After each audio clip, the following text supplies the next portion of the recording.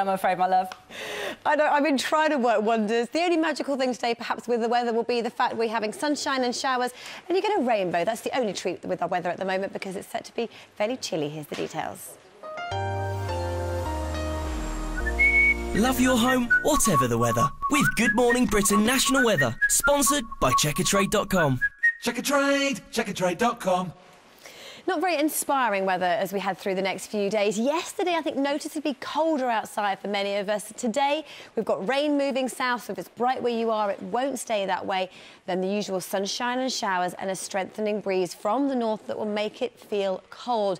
So first thing this morning, we've got more rain through northwest England, parts of Wales. Some of that will be heavy.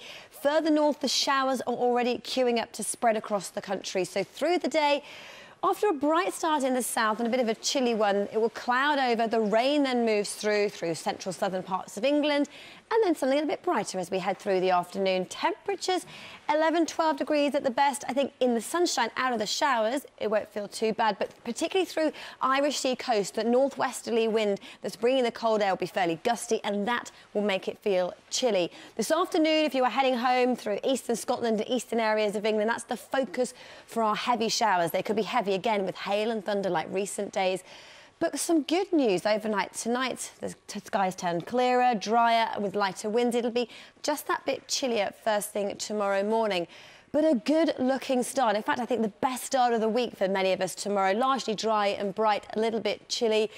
But yes, unsurprisingly, it goes downhill as we see cloud and rain gathering from the west. This affects western areas on Friday and moves east on Saturday. Find out more about the weather for where you are at ITV.